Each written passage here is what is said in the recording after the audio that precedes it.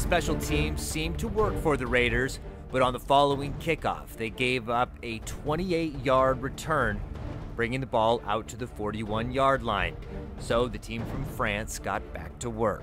But while the Raiders' return coverage struggled, the run D excelled, holding the flash star running back Marceline to one yard on the two following downs. And on third down, QB Welsh was forced to pass the ball. A bad drop by wide receiver Artich Moni ended this drive for the French. And defensive back Manuel Eisenfuhr let the receiver know what he thought about that play. At that point, the Flash head coach wasn't pleased by the execution of his offense. The Raiders got the ball back with a chance to increase the lead. Johnson didn't hesitate to put the ball into his receiver's hands, this time to Diplinger for seven yards. But the Raiders' offense kept clicking with passes and runs by Grine, who gained an average of 4.9 yards per run on the day. The Raiders' attack had the opposition on their toes, with Grine, Proler, and Diplinger coming up big. But then another disaster struck for the silver and black. I have never seen two broken legs pretty much ever in my whole career. And to have them happen twice in the same game, one on the right leg with, with, with Emmy and one on Matt, was, was completely unbelievable. And now he's hurt. And it was kind of one of those things where we all looked around and said, who's next? But the Raiders kept the pressure on, going to the air. First, Johnson would find Proler over the middle. Then the youngster, Julian Ebner, all the way down to the one yard line.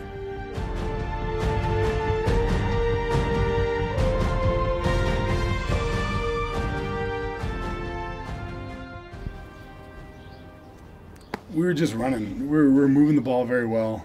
Um, you don't you don't want to screw with momentum, and so you keep that momentum going and see what happens. You know, sometimes you got to take chances sometimes you you know you got to see what the other team how they respond. They look tired.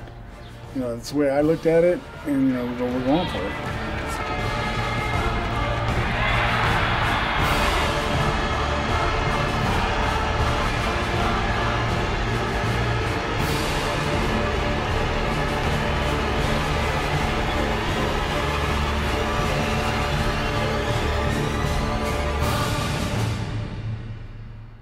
The Flash would strike back instantly.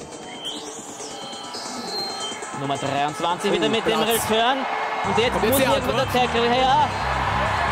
Oh, das, das ist die Antwort. Das ist ein Kickoff-Return-Touchdown für die Franzosen.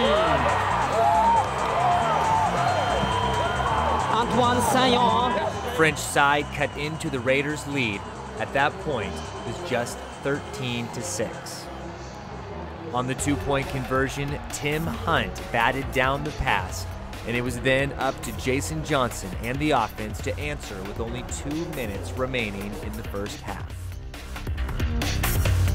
You know, when there's less than two minutes to go and, and the ball's in your hand, it's no longer about the coaches, it's about the players and the quarterback. And I want the ball in my hand. I'm looking right at the scoreboard. I know exactly how much time's on, how many timeouts I have, what plays I want to call, because you don't have time to ask your coach for plays at that time. So, you know, at that moment, that's what football's all about. That's why I love to play the game is for that moment when you forget about the crowd, you forget about where you are, and you are just in the moment. And it is just an incredible feeling. Johnson drove the Raiders to the two yard line completing all six of his passes for 57 yards on the drive. But with four seconds left and the ball at the two, it was Florian Grine again who got the ball with the exact same play that he had scored on just minutes before. If they can't stop it, then you're going to keep running it. So you still run that same play over and over again. And we had a lot of success with it, so we kept doing it. And we kept running it. And we kept, you know, if it's not broke, don't fix it and uh, it was something that worked for us, and we kept doing it. The Raiders would tack on an extra point, making it 20 to 6, and the teams made their way to the locker room.